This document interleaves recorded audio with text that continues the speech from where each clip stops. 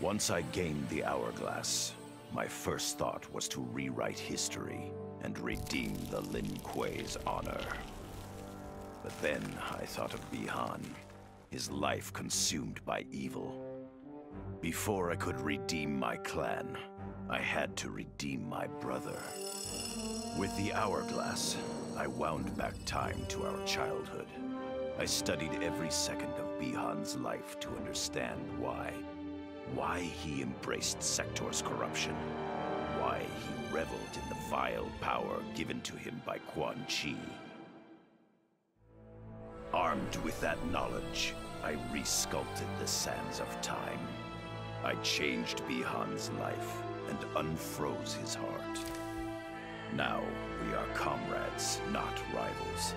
Together, as joint Grand Masters, we defense of Earthrealm.